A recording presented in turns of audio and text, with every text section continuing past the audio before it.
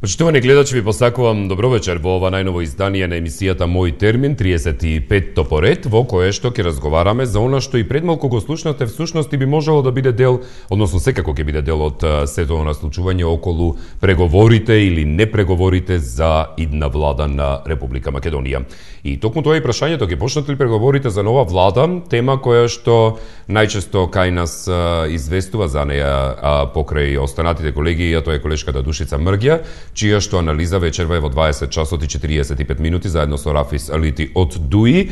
И а, да ја видиме нивната страна и да ја слушнеме, но до тогаш да видиме што ние имаме меѓу себе да се споделиме после а, некако како да постои затишје во последниот период за она што се случува околу составот на владата. Повеќе почнавме да се занимаваме се разбира се уште околу загадувањето на воздухот со небулозни прашања од стилот дали ви пречи тоа загадување или пак не не ние просто уживаме, или пак едноставно прашања кои што се однесуваат токму на граѓаните. Но, Да се задржиме на денешната тема, ќе почнат ли преговорите за нова влада, а во продолжение одиме со прилогот на колешката Душица Мргја од текот на вчерашното издание на Дневникот на 24 вести.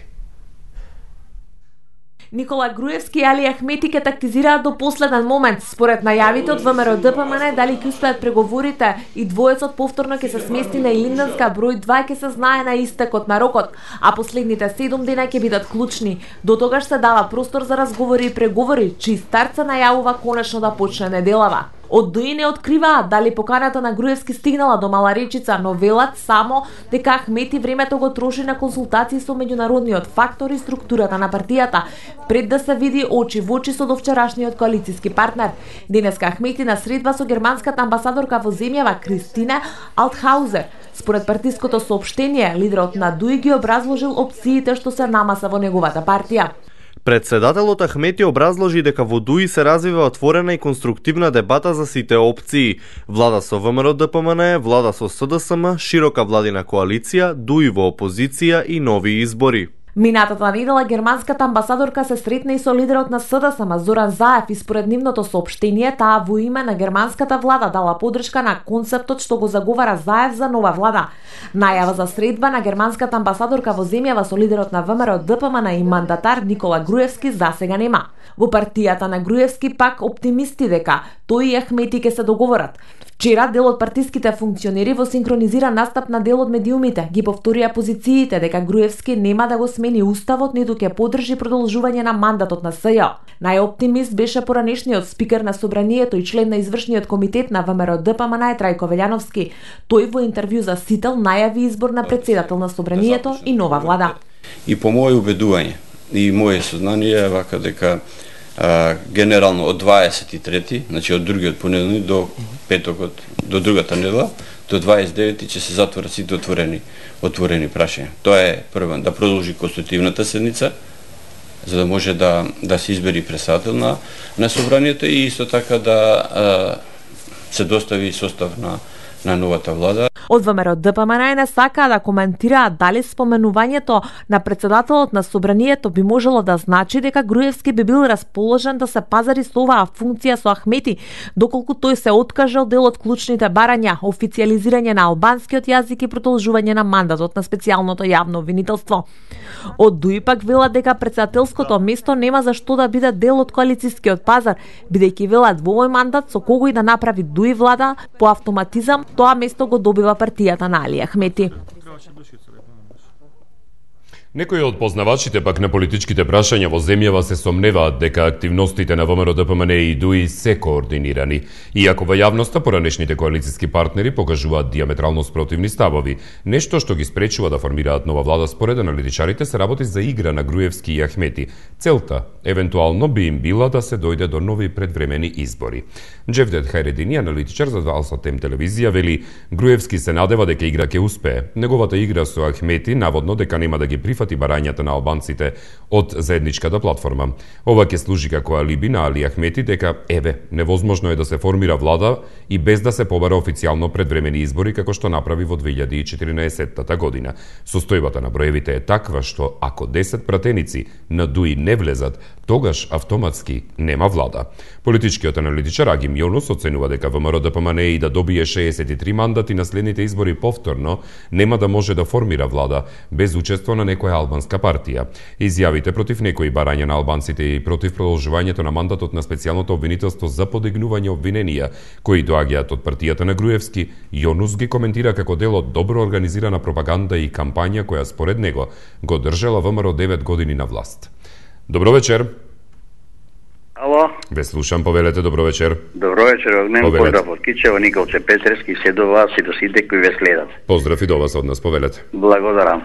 Како прво, значи, знаеме тој брак кој 10 години заедно владеат еден со други, војводата, јас ќе наречам, ќе го наречам и комитата, за жал тоа нема више да им успее, тоа е моето мислење, што сметам електоратот, значи посебно од страна на албанскиот фактор, не можат да го смислат да, да помене уште едус, значи да земе владее на 4 години, затоа што веќе во државата влезе голем криминал, голем страф и граѓаните значи не чувствуваат никаква слобода. Затоа се дојде до овие промени и сметам дека до последниот ден ќе манипулираат како едниот така другиот, али по сила на оние гласачи од страна на албанскиот фактор, како што рекол, Дуи ќе биде принуден да прихвати коалиција со социјалдемократскиот сојуз, од кој ќе направат заедничка влада по секоја цена и државата конечно ќе гледат да е бен спасат али во однос на тие барања кои ги има, значи, во страна на други, сепак некои ќе бидат удоволени, кои се веќе и со закон утврдени, значи, владеат ни целата Македонија, од кои има и во однос на економски план и политички и во сите интереси. Значи, сметам сепак дека во Македонија ќе се направи влада од Социјалдемократскиот сојуз. Ако у случај покушат, значи да договорат господинот Али Ахмети и Никола Груевски и ако напомне да прави со со ВМРО ДПМН дуи, јас ви гарантирам дека најмалку четири претеници ќе му избегаат. Со тоа што ќе одат, значи, на една техничка влада во која ќе биде кратка и ќе владе уште можда поголема криза. И затоа сметам дека во интерес на сите граѓани, на албанците, православните и ние сите кои сме за промени, за доброто на државата, за спас на државата, треба да седнат заеднички и сепак некои барања кои се значи запишани во тој рамковен договор требат конечно да им се дадат значи без удол, како што удолговочува 10 години она што е ветено а Али Ахмети го прикриваше за мрди гласови или другиот од другата страна изиграваше патриота или војвода мислењето моје е тоа сум на располагање ако има Ајде да некој да, видиме. праша благодарам Така, да видиме некој друг доколку сага да се вклучи на линија. Добро вечер, велам кому. Добро вечер, Ве слушам, повелете. Панчо од Велес. Поздрав до вас, Панчо. Е, вака се, прв пат да добијам вака за разговор. А, Груевски ќе покуша па на таа карта да даде двојазичност на Али Ахмети кој што даде првиот пат за у парламентот и за двојазичност у државата. Тоа го имаше и на Фейсбук. Не знам ја колку луѓето тоа го го видоа Така. тој случај. Е, е, најверојатно ќе покуша Груевски тоа, ама ја мислам оти ќе биде е, удар за Али Ахмети од албанците после така речено ќе му дадат корпа. Мгм.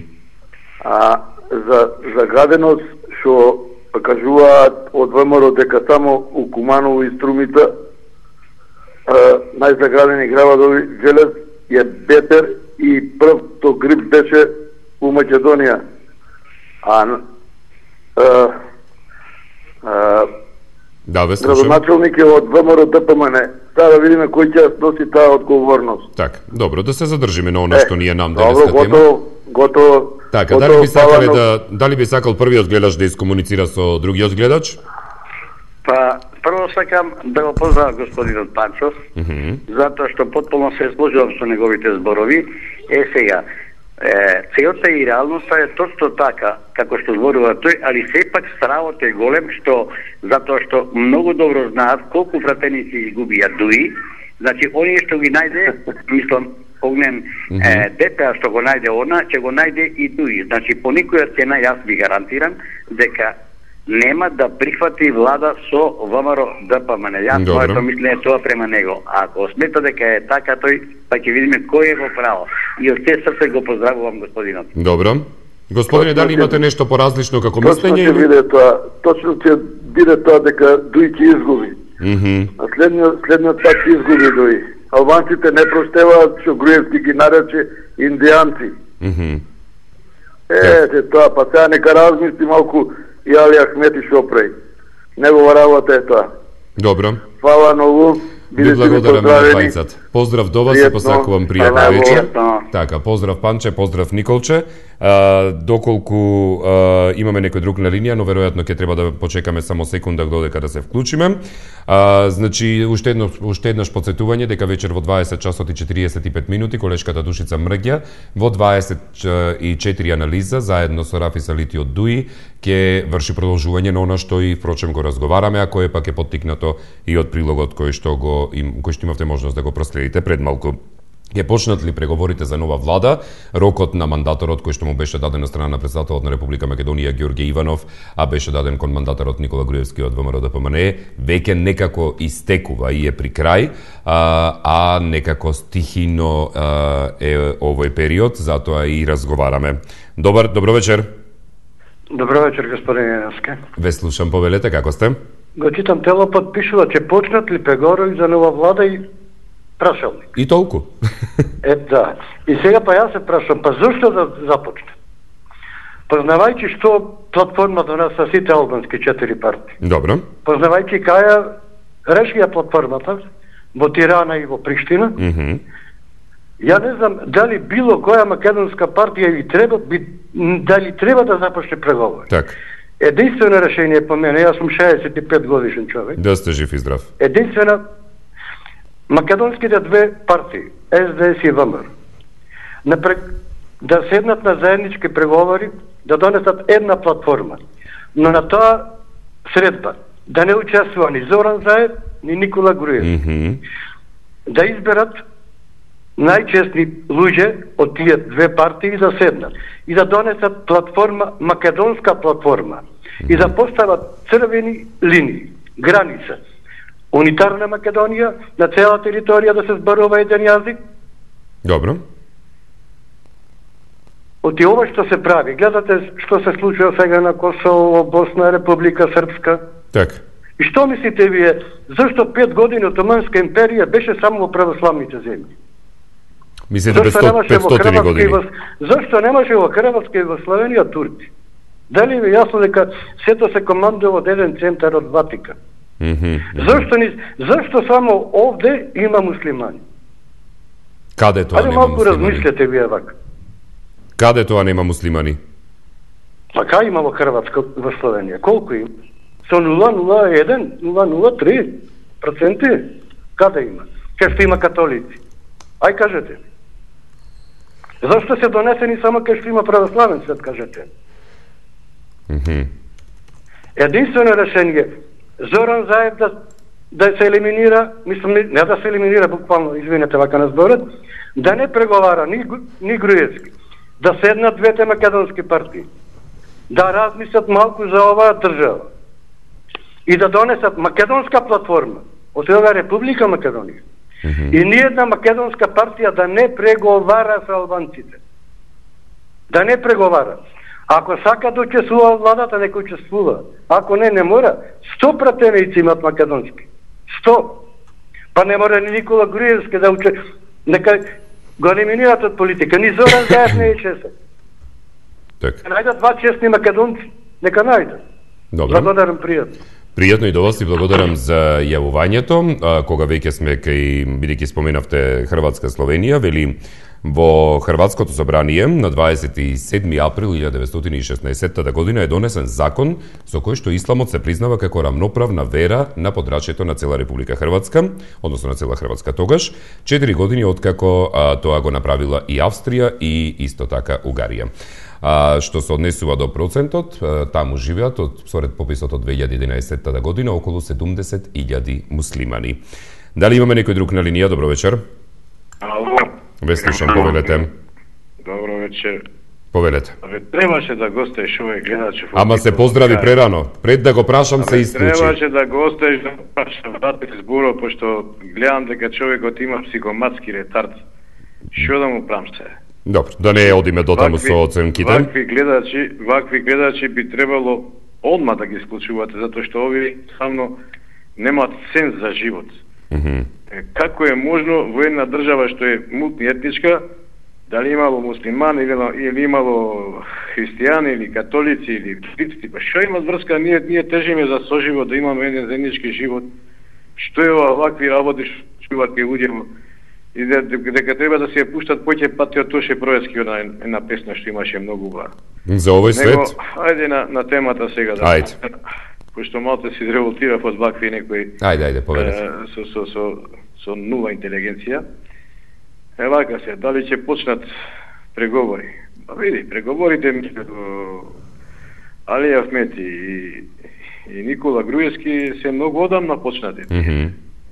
Тие уште во договор ги задоволи Никола Груевски албанците со еден дел од тоа двојазичност и некои други работи, меѓутоа Никола Груевски не му даде доволно на Али Ахмети од она што беше како рамковски договор, рам, рамковен договор Добро. Охрид, така да со тоа неколку такви некои работи што албанците ги пласира во, во изборната кампања, но теам дека на многу луѓе им е она тешко што отиште албанските партии во, во Албанија кеди Рама.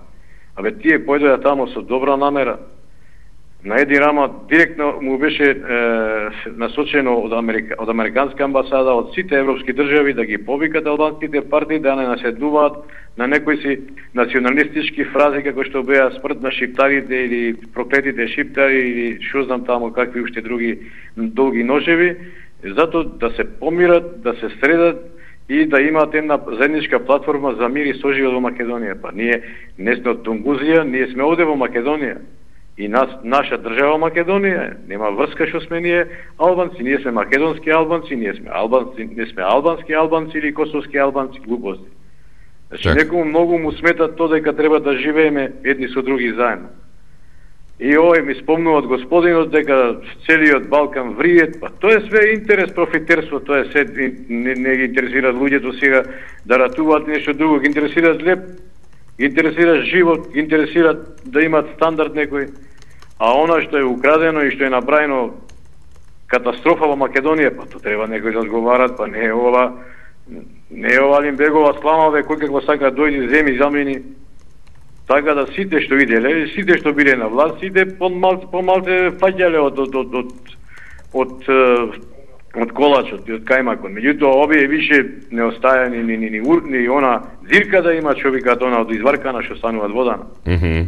Е за тоа мислам, јас сум оптимиста дека ќе се најд начин паметните луѓе и луѓето да што им мислат добро на Македонија и што се за соживот ќе најдат начин ќе направат влада макар и со широка коалиција нека биде само да се спаси државата затоа што има некои структури што имаат многу пари лапнато и поврзани што се со странски служби, а слушам дека господинот Мартин Протуѓер избегал во Хрватска, mm -hmm и така некои други си бегат, си одат, мислат дека се недостапни, ова не е мобилен телефон, ќе ги исклучиш и ќе, ќе каже секретарката предплатникот не е достапен.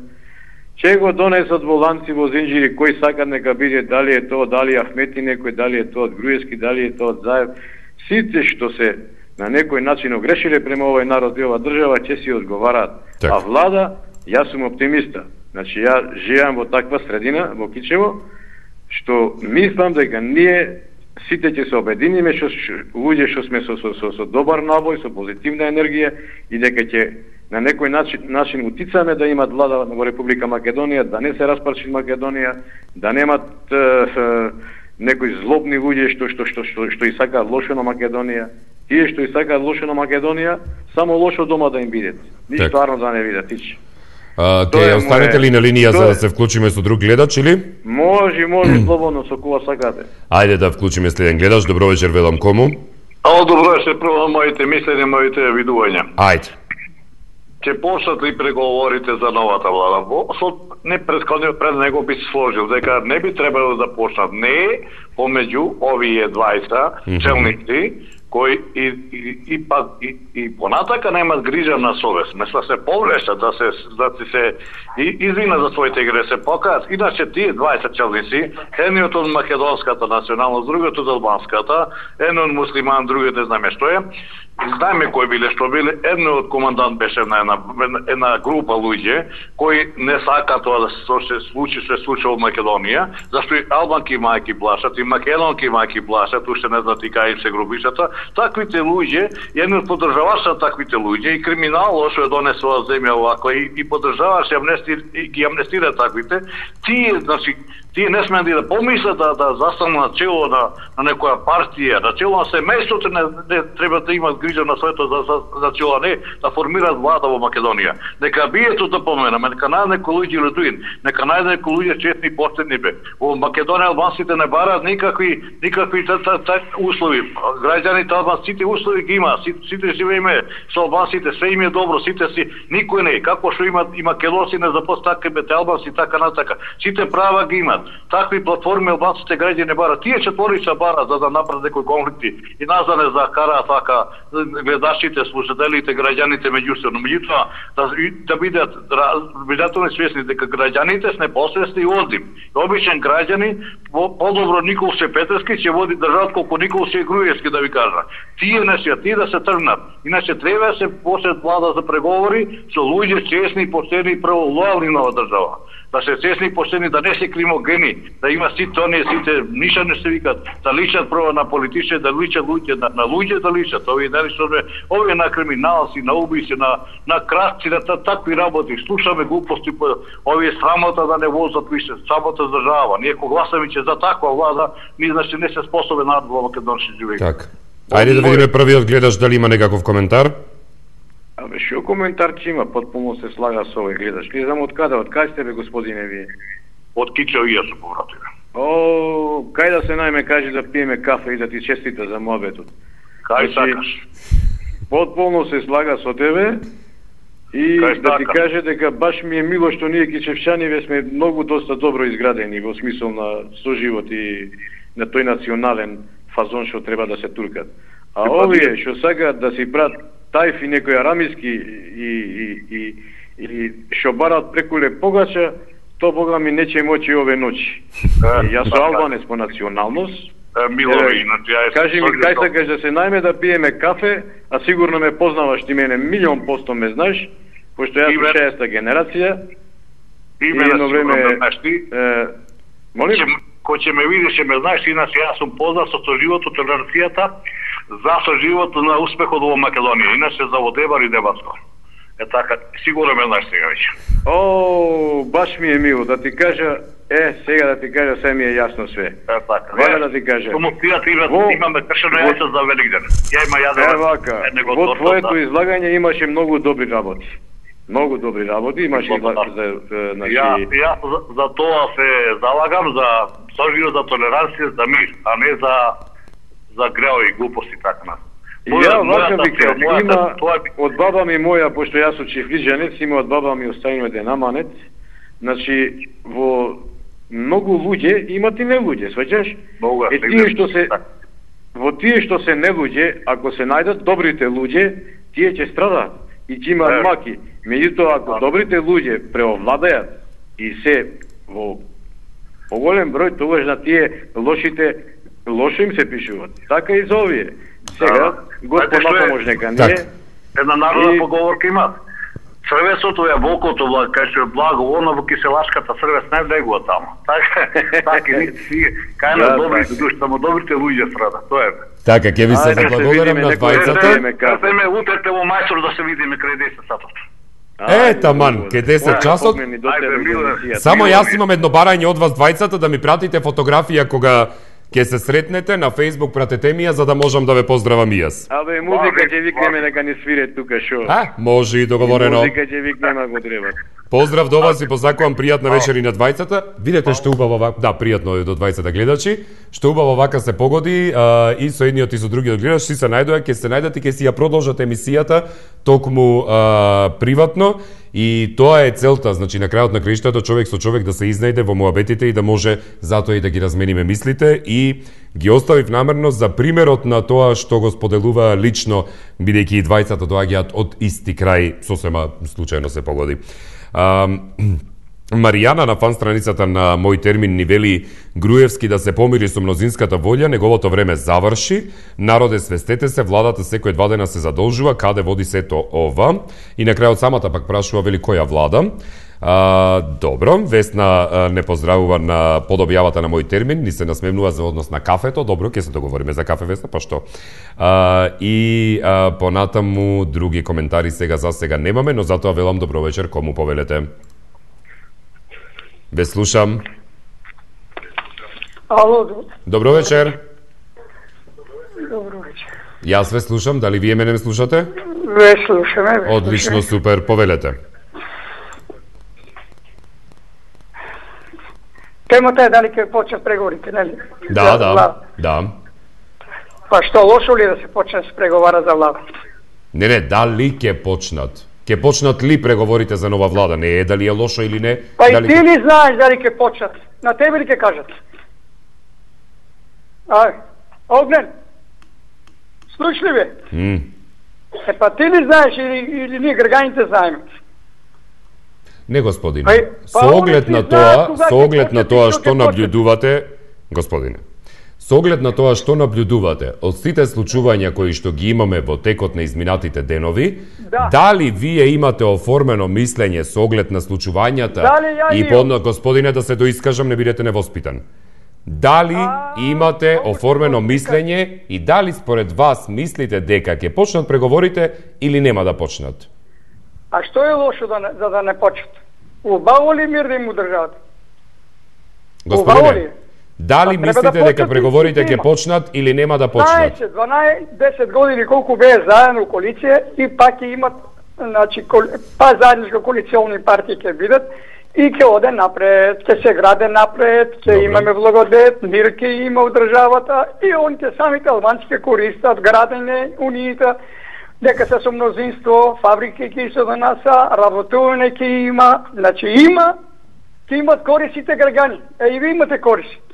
Сите гргани ќе има и вие критичарите редовно што се јавуваат во емисија. Само мислите да ќе кажат овака, онака и не го гледат позитивната од а, да речеме од опозицијата какви они имаше програми и што планови имат.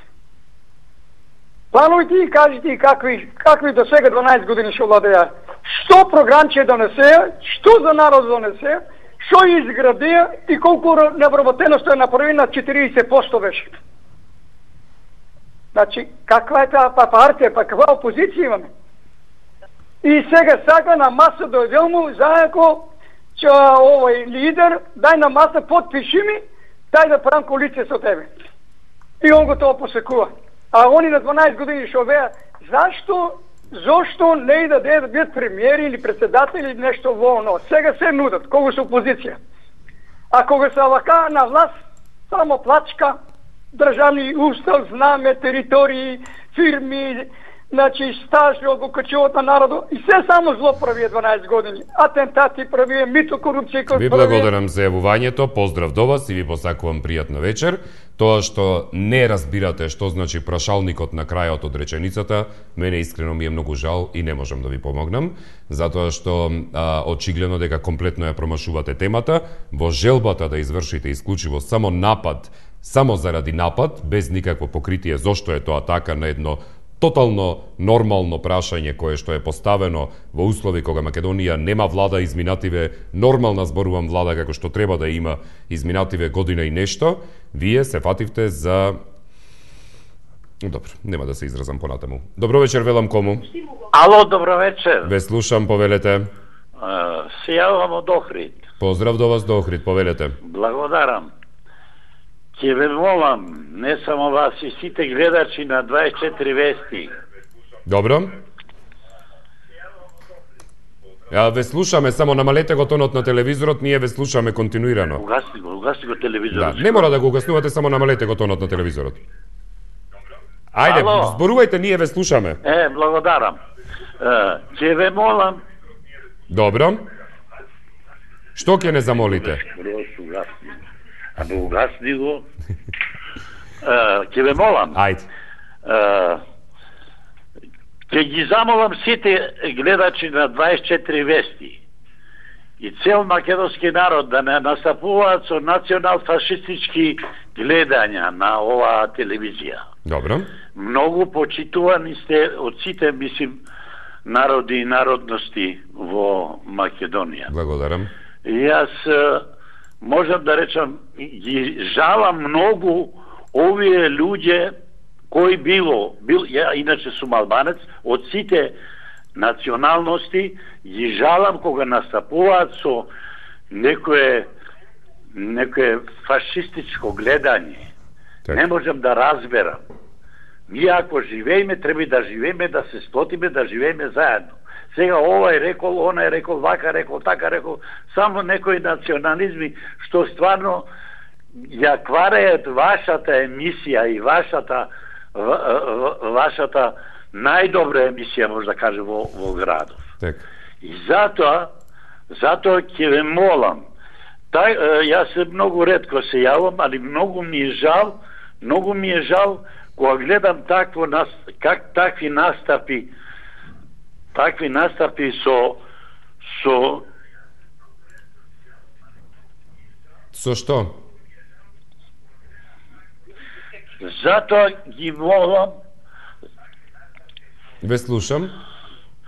затоа ги молам сите гледачи да настапуваат зашто ние сме во Македонија и заедно треба да живееме и да екзистираме заедно во нашата земја. Наша земја е Македонија. И затоа Така. сите треба да се сплотиме, а не да се да се обвинуваме овде еден со други, овој бил тако, овој бил тако, оној бил тако. Та било за било кој да треба да се најде стварно решение да ние одиме во права насока да можеме да живееме како стварно сплотен народ во држава.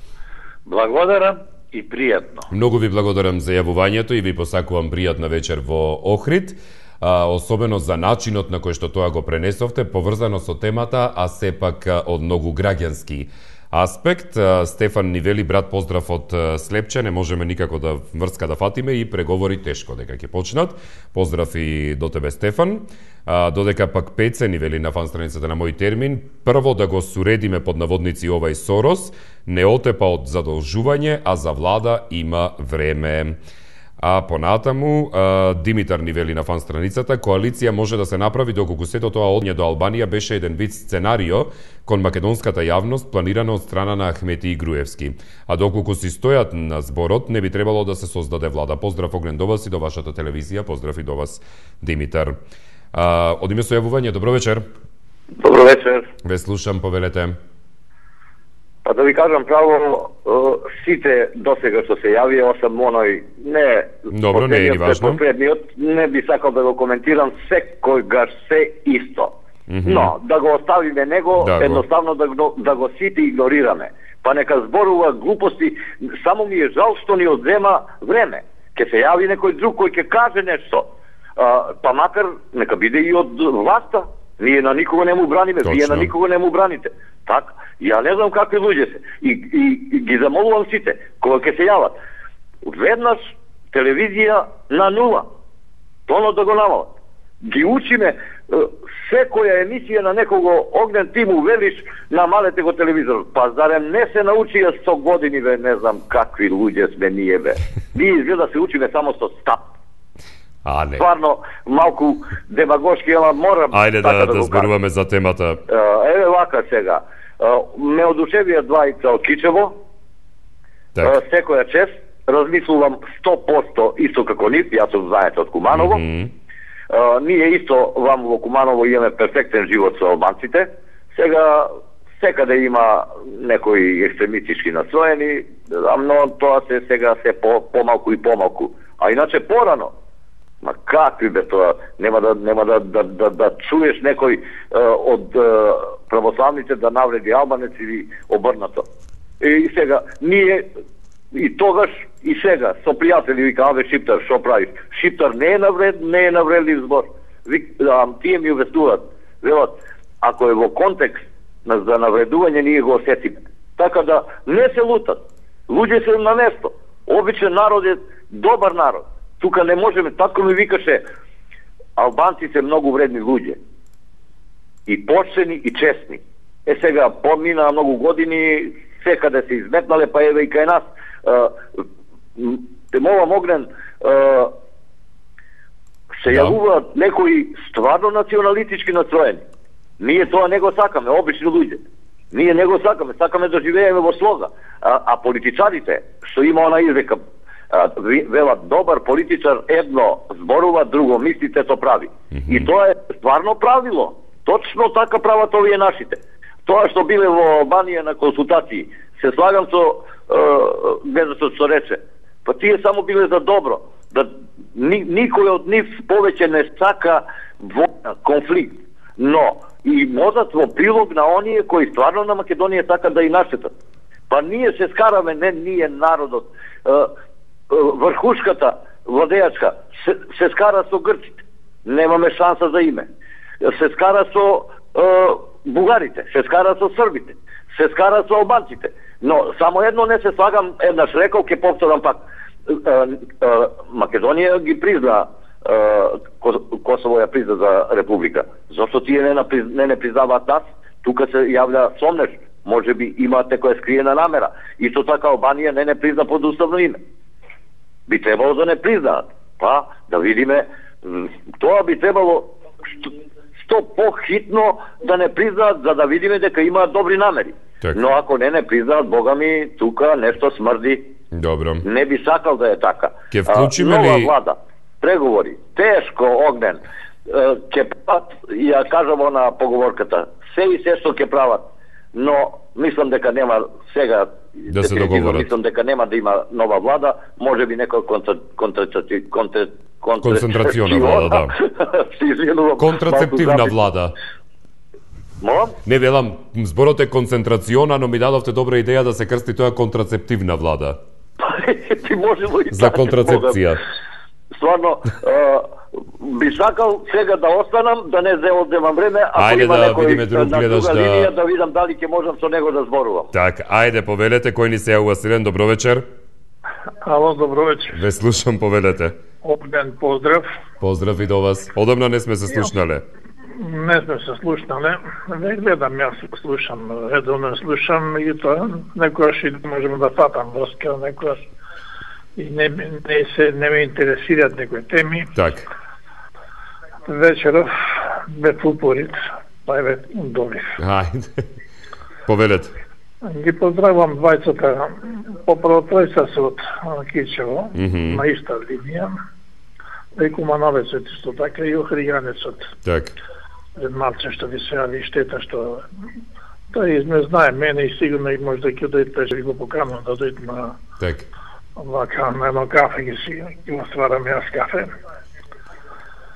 Ќе си поправим морат. Так. Види огнен, јас сум во малку по там вака подалечни, по дамнешни години. Мгм. Мислам некаде кон 90-тата тука. Овај, во 2001 година, пардон, не 2001, туку 41 година, во април месец, кога се струши фронтот на Кјапаса Добро. и на ке Дебер, се стори еден вакуум овде. Јас бев тогаш дете, меѓутоа во живото го анализирам тоа што тогаш го доживував јас и, и целото семејство и сите околу мене и подалеку малце Так. се створи еден вакуум кога ние овде немаме своја влада, немате своја војска, немате своја полиција, немате своје судство, ги немаме практично ни сите потребни институции кои што на кои што треба да се потребни и да, се надеваме дека нас ке не заштитува. И сега да ви кажам искрено во овој момент, сматрајќи целокупна работа што ни се случува во држава, го некако ми се наметнува истото чувство. Mm -hmm. Многу месеци немаме влада. Немаме, еве сега и парламент. Председателот е таков како што е. Кога нема да го замени ту државава никој, оти немаме ни председател на, на собранието, оти оне што е тој вештачки прак практично, се знае како се остана пак да, да преседава до со, собранието. А, а преседателот оди вамо лево десно и не се, не се изјаснува и што е најлошото и преседателот како и овие другите тактизираат во овој вакуум тактизираат и се играат со нашите нерви, али ствараат крај нас еден сомнеш и уплав дека со овој вакуум што ни се ствара, може нешто трагично да ни се случи и државата да изгубиме. Тоа најмногу ме плаши. Да чека преседателот на државата последниот ден да го даде мандатот, што е тоа таксизирање дете да е не такво нешто не прави.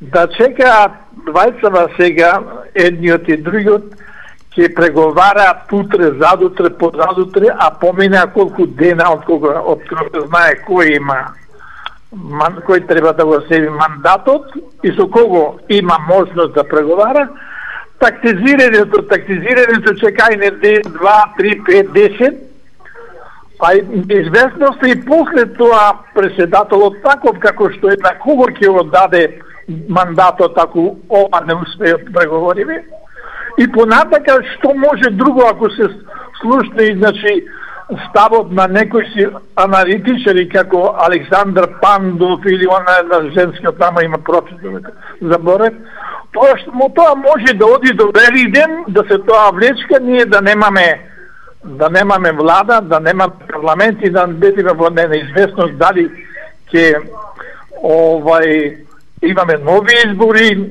Така Овај дали ќе може да му кажам нешто? Да, може, ајде. Локални а... избори така натака и така натака. Ајде да го значи, слушаме значи, само предходниот гледач. На висти да ме плаши многу. Ајде. Пред другиот гледач. Господине, добро вечер. Добро вечер, јас сум од Охрид да ви кажам. Јас сум од Куманово. Од Куманово, на, на северна граница, вие сте на јужна. Многу ми е мило што ве слушнав, што кажавте на која возраст сте. Одушевен сум колку трезвено размислувате. Ја ви честитам и ви пожелувам да, да живеете уште многу, многу години. Како вас, да, да се овие помладите кои се замлатени и, и заслепени од една партија, потоа од владеачката и не дај Боже да му кажеш нешто против неа, може и да те натепа. Така да секоја чест вашето размислување после оние двајца од Кичево ме одучевија. И вие поготово на таа возраст. Од мене толку огнен се одјавувам. Поздрав до двајцата, ви благодарам и ви посакувам пријатна вечер. И ќе се слушнеме повторно. Борислав на фан страницата на мој термин ни вели Според она што може да се види од поизборите наваму, преговорите за новата влада ќе почнат по завршувањето на православните празници. Последен православен празник е Водици, па така преговорите ќе почнат по Водици. Барем така се најавува од тие кои добија мандат за формирање влада, додека другите, кои не добиле мандат, нормално заради помалиот број на гласови, денес, на пример, на сите новинарски прашања, одговорија дека за ништо немаат собствен став, со изговор дека собствените ставови ќе ги кажеле доколку добијат мандат. Што значи преговорите за нова влада ќе почнат тогаш кога ќе бидат подготвени тие кои треба да преговараат, а според устав и закон преговорите а, кога и да почнат мора да завршат најдоцна до 29 јануари. Се надевам дека ќе биде прочитен мојот коментар. Да, Борислав, поздрав до вас и благодариме за коментарот. Во меѓувреме, додека да вклучиме друг а, гледач, имав ја уште некоја порака која што ми остана непрочитана. Вели Силвана, огне ние дома владава си ја викаме суп композиторијална, апропо соросоидна, на маш ми е идеја. Поздрав, поздрав и до вас Силвана и до сопругот. Дали имаме некој друг на линија повелете? Добро вечер. Добро вечер. Ве слушам, повелете.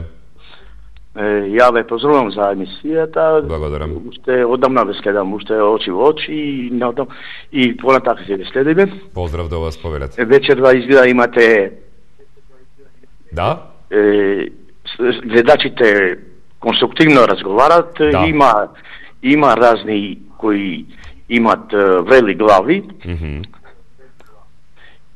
но ја мислам дека во смисла на тоа што гледачот кој ве задржа не знаеше што да кажеш, односно не, не, не го разбираше ова тема, вечерашната тема. Така. Сака, би да пораше, пошто сум албанец од Тетово, Добро. Сакал да кажам дека албанците никогаш никого не поробиле. Мгм. Е, биле лојални граѓани на, на, на, на Македонија и на поранешна Југославија и Добро. историските текови кои биле низ разни времења, тоа е да оставиме на историјата. Така. Е, дали ќе има влада? Дали ќе има преговори за влада? Овие си играат со времето. Граѓаните покажаа што сакат во Македонија. Така. Поготово албанци се покажа е, како Волјата примерни гласачи. Така.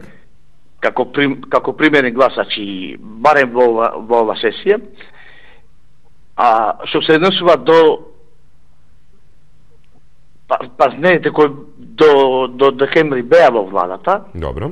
иако некои ми се се уште ги држат до избор на новата влада. Значи, овие играат на таа карта да се спаси што може да се спаси. Така.